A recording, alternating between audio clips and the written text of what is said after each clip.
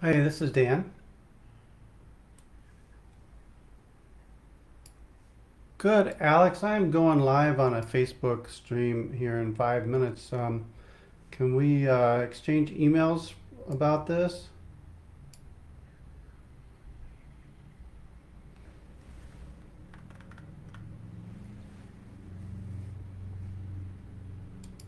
Okay. How do you, uh, do we want to do that right now?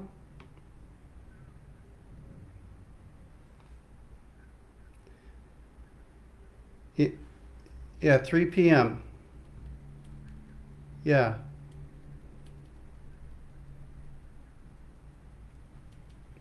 Okay, beautiful.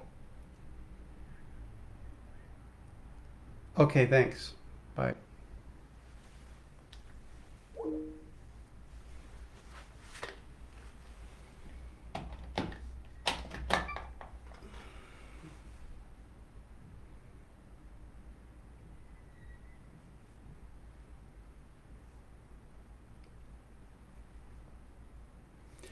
All right. Testing, testing, testing, testing. I think I may be the only one in here.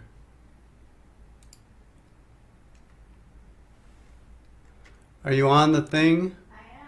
Can you see me? I can see you. Can you hear me?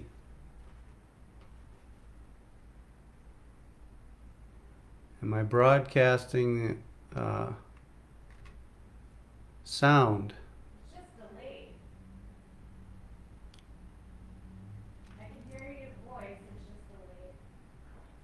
Well, c- can you hear me from the other room or can you hear me through the speakers? Both. So is it um, is it synchronizing with my picture? Let me close the door. Yes, uh, close the door, or yes, it's synchronizing with the Yes, picture. it's synchronizing your face. So the picture is a little delayed. It's just a little delayed. Everything's a little delayed. Yep.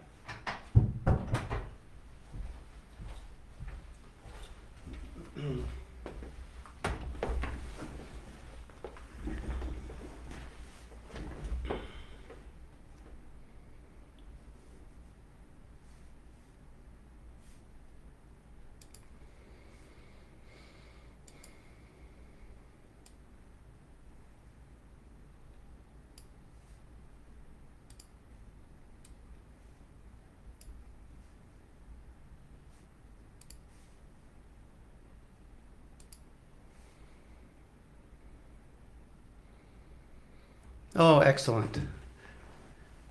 Thanks, Christine. Appreciate your feedback. We've got a couple minutes to go here before the top of the hour. So I just wanted to get this started to make sure that I'm I'm uh, coming through. And I am. So that's great. Even though you can't see me, um, s- I should still be coming through on the sound.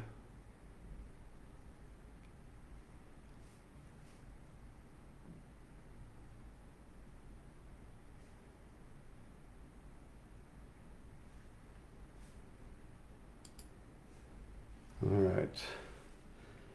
Let me see if this to work like that. Okay, good. I love it when things work.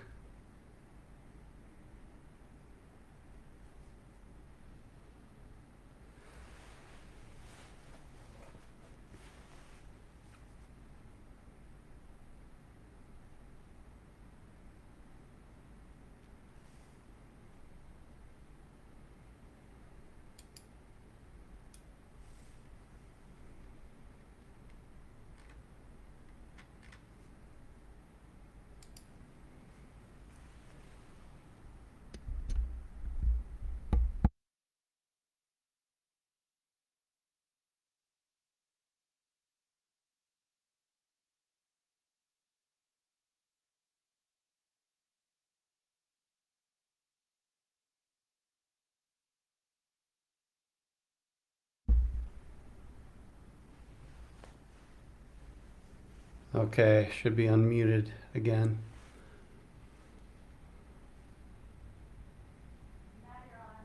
Okay, Christina should be on again. Uh, I did mute on purpose, but uh, we got one. Oh, it's 11 o'clock. All right.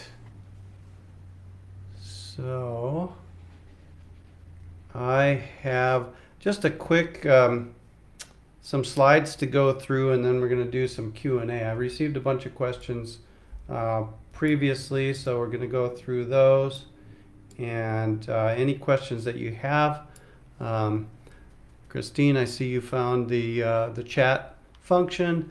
Um, there should be a chat function. If you haven't found it, you can look around on the the, um, the Facebook stream. I really sorry I'm, I'm not a good advisor on this because I don't know how the Facebook stream works, just the back end.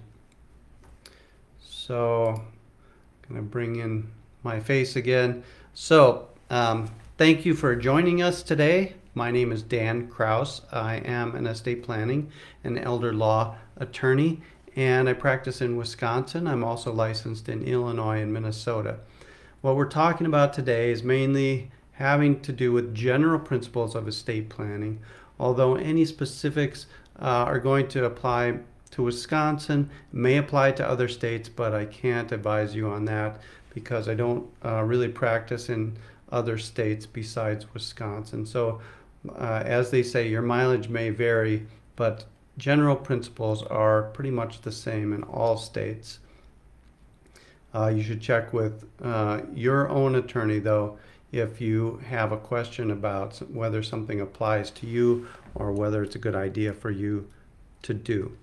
Um, just uh, uh, CYA, I'm not giving anybody specific legal advice today. It's just in general uh, for educational purposes only. We're going to talk about estate planning basics, nursing planning, VA pension planning. So um, now, going to go to the next slide, just a little bit about me. Uh, I've been an attorney for 23, 24 years now since the turn of the century, as they say. Um, I, uh, a retired Army JAG officer. Uh, I spent 21 years in the military, uh, mostly reserves, but four years of active duty uh, during the 9 uh, 11 post 9 11 uh, stuff that went on. Let's see. I wrote a book uh, I'm certified. I'm one of the few certified estate planning law specialists in Wisconsin. I think there are seven of us now, maybe eight. I'm licensed in Wisconsin, Illinois, and Minnesota. And um, I was in the Peace Corps for a couple years. Okay. Here's some, you know, brags about the firm uh, and some brags about me. We're were highly rated and got a lot of good um, uh, feedback from the Better Business Bureau, Google, etc. All right, we're going to talk about wills, financial powers of attorney, healthcare powers of attorney, trusts, revocable and irrevocable, and we're just going to hit these at a really high level. So um, it's going to leave a lot of room for questions and answers. Um, estate taxes, nursing expense planning, and VA pension sometimes known as aid and attendance. That's a non service connected VA pension uh, planning for uh, veterans and their surviving spouses. Okay, next slide. All right, so the minimum that you need, that anybody needs to have what I would consider a comprehensive estate plan is to have a will in case you pass away or for when you pass away, financial power of attorney for managing assets while you are alive but unable to manage them for yourself if that ever happens to you, and a health care power of attorney to manage your health care if you are unable to manage that by yourself. Those three things uh, constitute a comprehensive estate plan. Now, the estate plans that we do have all of those things, but they also have uh, other parts. So let's talk about wills. Um, first of all, if you don't plan, if you don't have a will, if you don't have a trust, if you don't have something that's going to uh, tell where your stuff is going to go, then certain things may, will or may happen. Um, some of those things might be bad. So let's talk about what those are. The state law controls. So where's your stuff going to go? I can't tell you unless I know more about your family. But if you die without a will, the state law will say who gets what. Uh, in general, your closest relatives are going to get your stuff, but which ones and in how much um, depends on your state and depends on which relatives you have that are living. Uh, if with a will, you're going to have probate proceedings in court. Uh, if or even without a will, without a will, you're going to have probate proceedings. With a will, you also have proceed, uh, probate proceedings. But if you don't plan and young people are going to receive assets from you, that means that you can't hold it from them past the age of 18. Uh, if you plan with a will or a trust, you can have those things held until a child reaches a more reasonable age, say 25 or sometimes um, higher than that. Um, if you don't plan in a second marriage situation, the surviving spouse may get left out in the cold, or the kids get left out in the cold, or nobody's happy because uh, each of them get a little, but nobody gets as much as they think they should deserve, and probably not what you would want. Um, so, intestacy is meaning you die without a testament. So, intestacy is dying without a last will and testament. This is an old example, but it's a famous example. James Dean was a movie actor in the 1950s and early 60s, and he died at an early age, 24. Um, died without a will. It's not surprising, not very many 24 year olds have a will, unfortunately, but his entire estate, including his licensing fees, passed to his father. His mother had died when he was young. However, his father had abandoned him as a child, so when his mother died, his father just passed him off to his mother's sister and then didn't really have much to do with him for the rest of his life.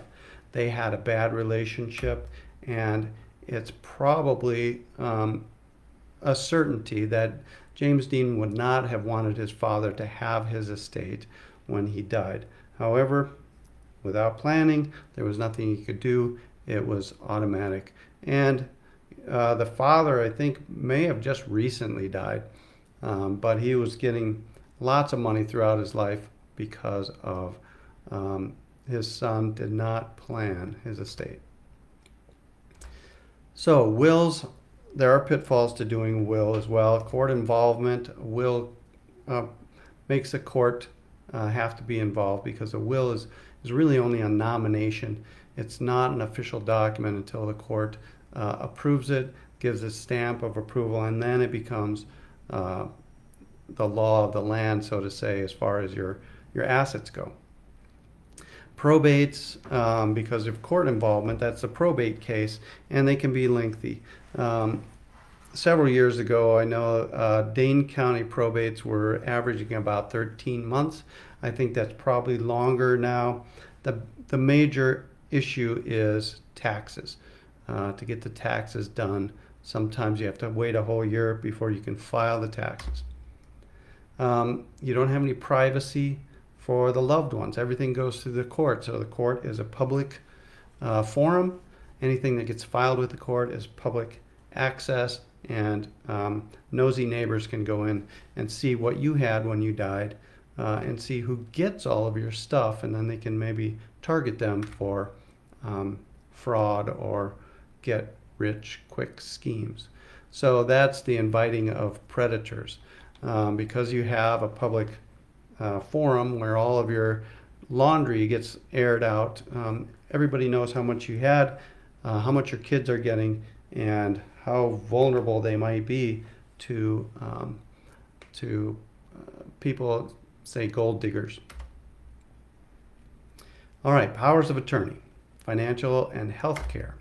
So financial power of attorney, well, if you don't plan, then once again, the state law controls. If you become incapacitated and you have assets and your bills need to be paid and your taxes need to be paid, etc., and nobody has a power of attorney for you, then there needs to be a guardianship. Guardians have to be appointed, and the $6,000 uh, figure there is just an estimate, of, a low estimate as how much it's going to cost you in order to get a guardian appointed over your estate. Um, considering the attorneys, the guardian ad litem has to be paid, all of this. The court then supervises your life. Your family no longer has uh, full control to make decisions. They would have to ask the court for permission, and many of the things that people would want to do, um, the court will not allow you to do. One example is if a person needs, say, Medicaid to pay for long term care uh, in a nursing home, because the nursing home costs $13,000 a month. Um, the family might want to try to give away some of your assets to save them from having to be spent, and so they could be used by your family instead of uh, the nursing home. This is not possible in a guardianship situation. Family is not will not be allowed to do that to try to save your assets. All right, so unintended consequences. You might get a guardian you don't want. In fact, just today I got a uh, letter in the mail from a, uh, a corporate guardian that said, we want to be your friend. Uh, if you have a guardianship where nobody wants to be a guardian, we would love to be the guardian there. The corporate guardian gets paid from the money that uh, belong, or the money or the assets that belong to the person who needs the guardian. Um, they do a great service. I'm not trying to say corporate guardians are bad. It's just that you don't know them. They don't know your family. They don't know you. Um, and going into court to be proven that you're incapacitated can be embarrassing and it's expensive. So, while you're alive, the tools that you should use for planning if, in case you become incompetent are a power of attorney for finances and a healthcare power of attorney. You can also use a living will, which is a pull the plug document. It authorizes the doctors and nurses to stop treatment in certain cases. Um, you can also use trust. Trust can help you plan during your lifetime. If you become incapacitated and you have assets in a trust, the um, loved ones can manage those assets for you. So trusts are become on many trusts come in many many shapes and sizes and colors and and purposes. There's revocable trusts. Um, those are typically used as a will substitute. They can avoid probate because a trust does not die, so a trust doesn't have to go through probate. If you put your assets in a trust after you die, your trust can, or your trustee can manage all of your assets and give them to who you want to give them to without ever making a public declaration, uh, filing anything in court, or um, putting a notice in the paper. It's all very private. So you can preserve your privacy with a revocable trust as compared to a will. It's controlled by you. You can change it, modify it. Um, you can use the assets that you put in the trust for any purpose that you want to. And it's really uh, kind of a set and forget it. You don't really have to remind yourself daily that you have a trust. It's, your life just goes on like it always did. With irrevocable trusts, there's a lot of kinds of irrevocable trusts. Um, mostly they're used for either tax planning or asset protection.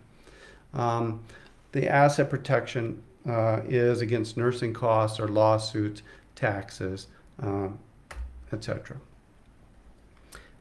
We're going to talk a little bit about the estate tax, very little because right now the uh, the federal estate tax exemption is 12.92 million dollars. So anybody that dies in 2023, if they have less than 12.92 million dollars, um, including insurance and uh, IRAs, etc. If you have below that, there's no estate tax. Wisconsin has no estate tax. It used to have an estate tax, but Wisconsin does not. Many states do. So, um, depending on your state, you may have a state estate tax if your if your um, net worth is below 12.92 million, but it depends on the state. Uh, in 2026, the estate tax exemption is scheduled to go back down. We don't know what the number is going to be, but it should be around $7 million. Uh, it is $5 million in 2012 indexed for inflation. So we figure by 2026 it should be about $7 million, but we'll have to see when 2026 rolls around. Nursing home expense planning, another big issue in estate planning that a lot of people are concerned with. In fact, this estate tax used to be the big boogeyman, but right now it's uh, losing everything at the end of life because of nursing costs. So we're gonna um, breeze through this. In fact, I'm just gonna quickly go through this. There's a lot of issues with getting qualified for Medicaid. Medicaid is the is the program that will pay for nursing costs, but only if you've planned properly or if you cannot afford it. Most people go through the process of spend down, which means in the end they have nothing left to give their kids, and in fact, they have nothing left to uh, provide for their support during the end of their life. Once they've spent it all, they really are reliant 100% on um, Medicaid. Veterans pensions also can um, help people to to pay for home-based care or they can pay their family for care. It's not the same as Medicaid. It will, will not pay for all of your care, but there are certain amounts that you can you can get. If you are an unmarried vet you can get up to $2229 a month. Um, you can get up to $2642 a month if you're married. So if you're the veteran and you need care and you have dependents um, you can get that much. A surviving spouse can get a little more than half of that. Um, but there are qualifications. You have to have served on active duty during wartime period that are defined in the laws. Okay. Now, let's see. Your asset, in order to qualify for this, your assets, all of your countable assets plus your annual income have to be under $150,538. So your home plus two connected acres is not included in that um, calculation. If you're going to give away assets in order to get down to that amount, the uh, VA has a three-year look-back period. These are just maximum benefits. Let's get to uh, question and answer. Okay, so that's just some basics. Um, not uh, wanting to to dwell on that um, and get to the meat of today's presentation. So, we had a question. How do you convince your mother she does, in fact, need a will? well, that is a, that's the, the $64,000 question. How do you convince somebody that they need a will? Generally, you don't. Um, there's so much information out there about the, you know, the, the dangers of not having a will um, once you are in old age and you're not married anymore, you might be widowed, you might be divorced, but not looking to marry again, and you want everything to go to your kids, um, the uh, the urgency to get a will may not be as great. You're not really worried about things like that. But to do estate planning, you should have those three, the three basic things, the will, the power of attorney, and the healthcare power of attorney. They all work together to make sure that whatever your wishes are uh, gets done and whoever you want to be in control is in control. Now, how to convince your mother that she might need a will is to ask her who she would want to be in control of her assets after she passes away. And if there's anybody that she really doesn't want to be in control of the assets.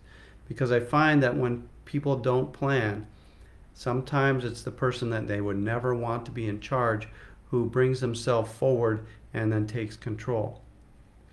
So that might be one way if you want to talk to your mother about making sure the person that she wants to be in charge is in charge and the person who she may not trust as much or or might cause um, say um, waves or, or problems in the family that they don't get in charge of the estate uh, after, after your mother is gone.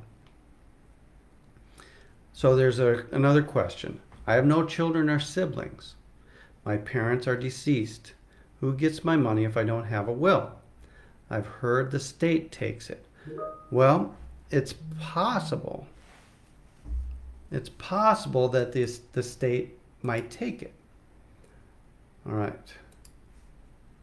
So it's possible that the state may take the assets. But in Wisconsin, here's the rules. All right. So if you're not married, you don't have kids, uh, you don't have parents. Okay? So depending on these three things, then everything goes down the line from your parents. So um, you don't have siblings. Uh, if you have siblings who have died, that makes a difference because the nieces and nephews of your dead siblings then would inherit. If you had no siblings at all, so there's no nieces and nephews, then the state law, Wisconsin state law, says you go up one more level. So you got two sets of grandparents.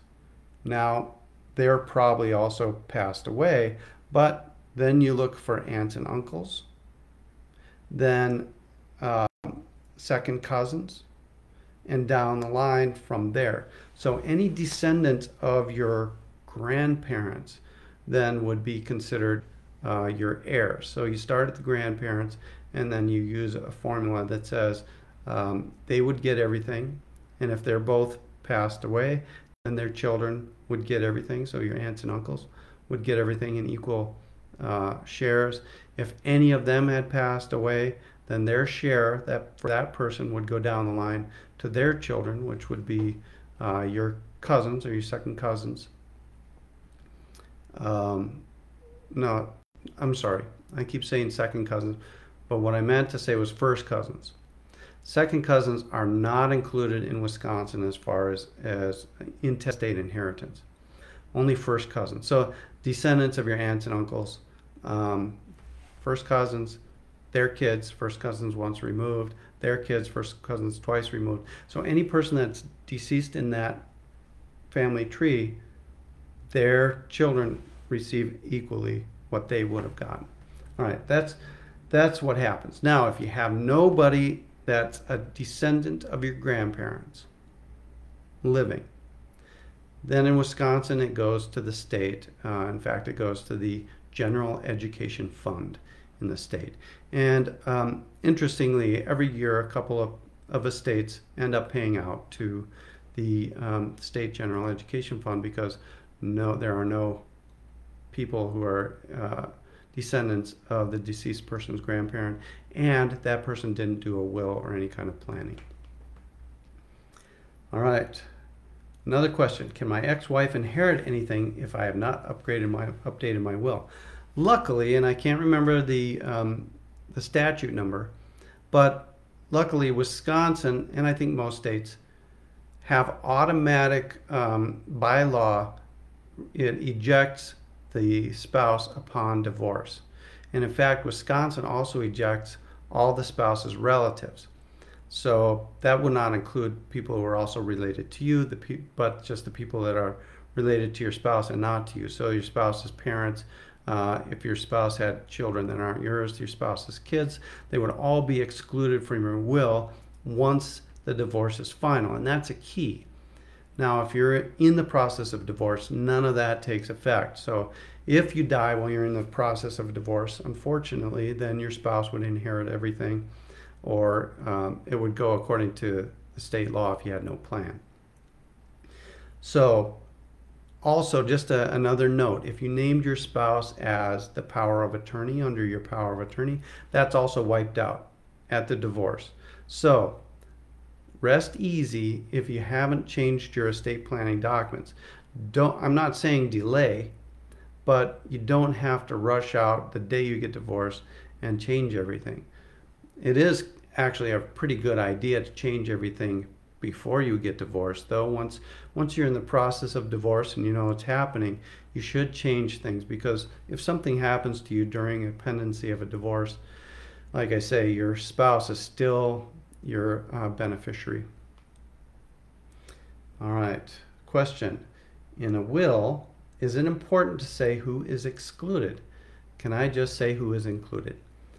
Um, that's a great question. So many people do not um, like to disinherit people specifically because it might hurt their feelings.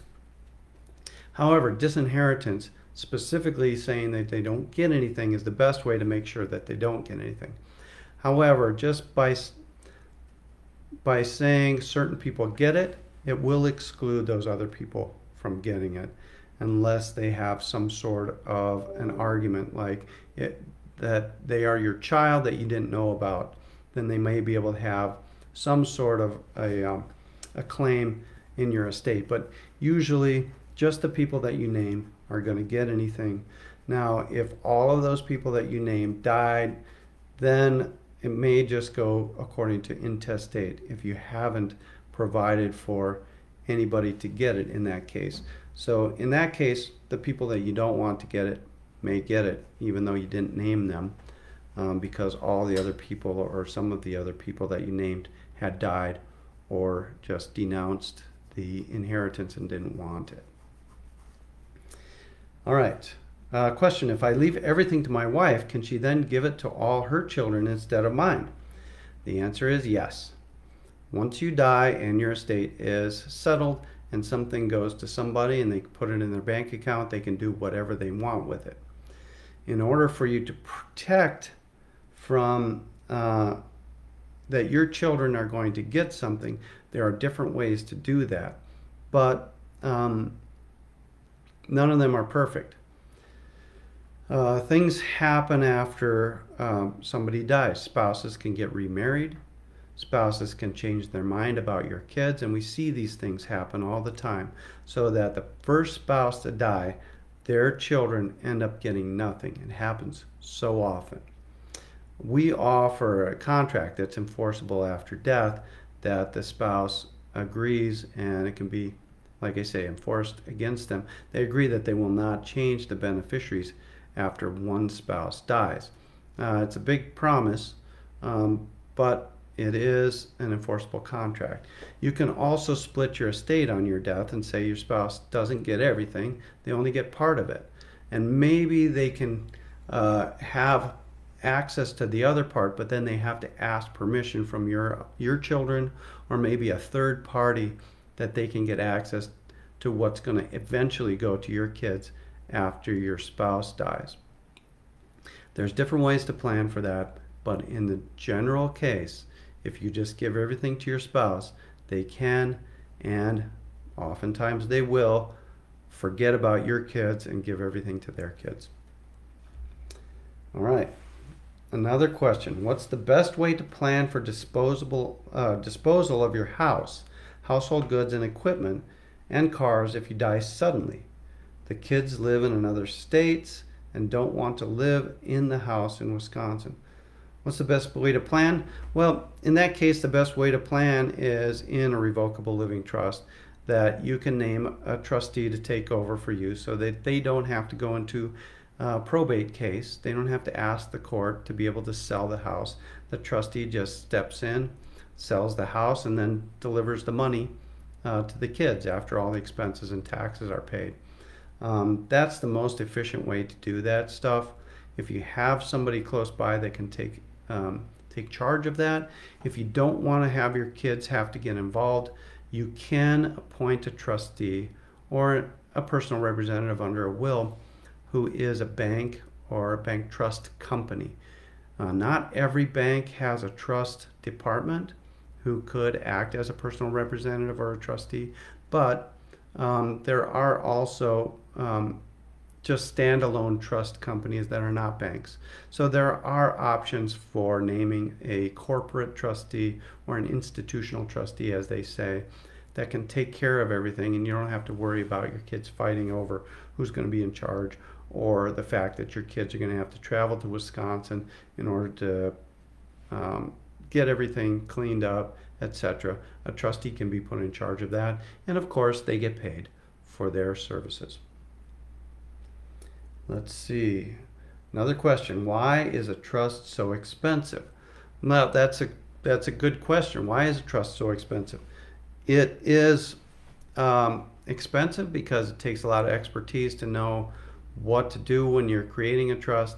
It's more expensive than a will package because there's a lot more documents involved, but there's also a lot more follow up. There's there's instructions for keeping things in your trust so that with a will you don't have to do what we call funding or asset alignment. You don't have to take your bank accounts and put them in the trust. You don't have to be advised that that needs to be done. Um, there's uh, certain things that do need to be done with a trust that don't need to be done with a will. Um, you're paying a lot of times. I mean, you can you can find less expensive and more expensive. Typically, with the more expensive, you're going to get better service. Uh, you're going to go to an attorney's office. You're going to deal with an attorney who um, asks about your asset situation, about your family situation, and is going to guide you in the right provisions to put in your trust. Then there's the other side of the coin where there's forms that you can get online. You can buy them uh, online sometimes for five, six hundred bucks, fill them out yourself, and then you sign them. But um, nobody is there really to guide you in your personal um, situation as to whether this is smart or this is not. Um, you don't know whether it's going to cover you. Um, uh, in the end, when it's necessary to cover you, you don't know whether it's going to protect against um, health care costs, um, things like that. Why is it so expensive? Expertise, um, employee time, uh, things like that. Let's see. Another question Is there a reason for young people to do planning, college age? Uh, the answer is yes, there's a big reason for young people to do planning because once you're 18 in Wisconsin, your parents will no longer have the ability to make healthcare decisions for you. your parents will no longer have the ability to reach into your bank account and do things for you. And that's because you're an adult. You can um, cut your parents off. You, um, they are now legally uh, strangers as far as making legal decisions for you. So that once you're 18, if you go off to college and God forbid something happens to you, a car accident, a bad illness, something you're in, in the hospital, or you're not able to make decisions for yourself for a time, or you become incapacitated or uh, go into a vegetative state. These are terrible things that can happen, but it's better if the parents have been given legal documentation so that they can now make decisions regarding the health care and the finances. So once a person reaches 18 years of age, they should have a healthcare power of attorney and a financial power of attorney. A will is also a great idea because that makes a comprehensive estate plan. But for a young person who may not have any assets and really uh, they're not married, they don't have any kids, they as long as they want everything to go to their parents, a will may not be as important as the other two. But those other two, so important in case something happens to the young person. The parents um, do not want to have to go through the guardianship process in order to gain control of the child's um, health care and their assets. All right. The last question that I have is um, why is a HIPAA privacy document necessary if I have a POA for healthcare? Well, a HIPAA privacy document is a document that's effective immediately. So that means that the people that you name on that HIPAA privacy document can access your healthcare before you've been uh, declared to be incompetent. So they don't have to wait for doctors to activate a healthcare power of attorney.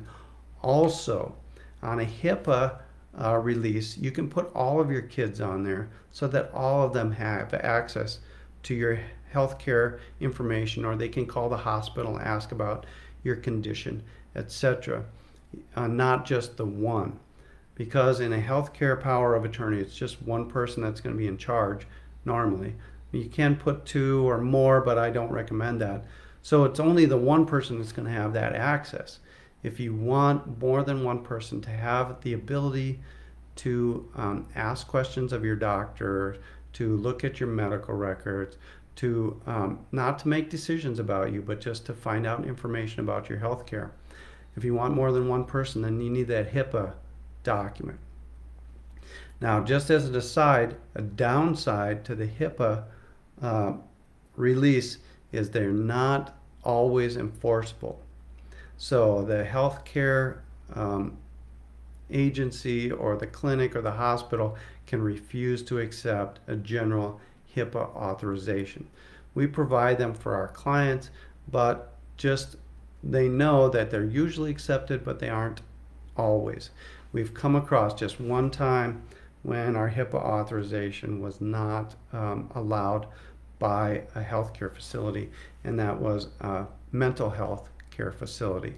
So um, in this case, it was UW Mental Health Center um, would not release um, information about a person uh, was a spouse that was in the facility without a specific release uh, for that facility. They, they insisted that be on their form and that it's signed on their form. So um, HIPAA releases are useful. They're good for many things, but they're not always effective. So just know that there's really not a lot you can do about that. But in the, the backup there is just as the question asker had said, is then you're just stuck with the healthcare power of attorney having access and not, not anyone else. All right, that is the end of my questions that I have. Um, does anyone have any further questions? Um, I think the only way to ask questions is to write in the comments. So I don't know of any way that a person can raise their hand or speak up. I think I'm the only one that can talk in this uh, this particular format. All right. I'm going to give a couple more uh, seconds here, and then we'll just close down this um, this session. Let's see. Um, if you do have a question, please post it in the comments. Um, happy to answer anything. We've got some time left.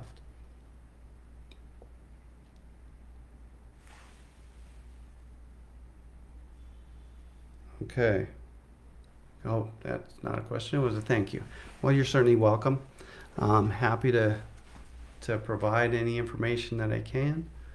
Um, where can you learn more about our law firm? Yes, I didn't say this. Uh, you can find us at friendly.law. So you can go to the internet and you just type in friendly.law. A lot of person, a lot of people put friendlylaw.com. It's not that. It's friendly.law. Um, there's a lot of ways to get to our website. Of course, you can just Google Krause Estate Planning, but if you want to go directly to the website, you can just type in friendly.law. You can also type in estateplanningpeople.com, um, all one word, obviously, estateplanningpeople.com. Um, so that's how you can learn more about us. You can also give us a call. Uh, operators are standing by.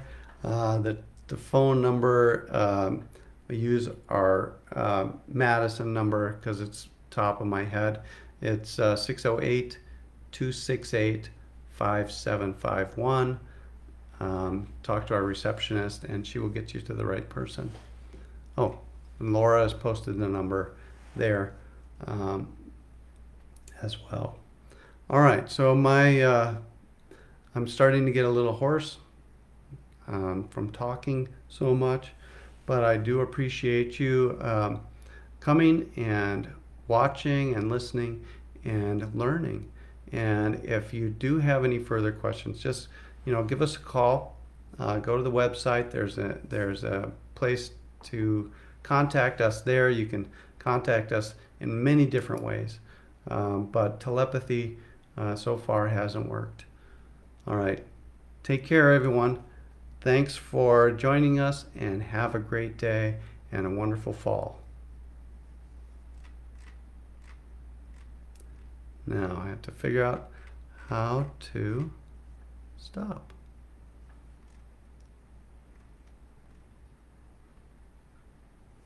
All right, there we go. Bye.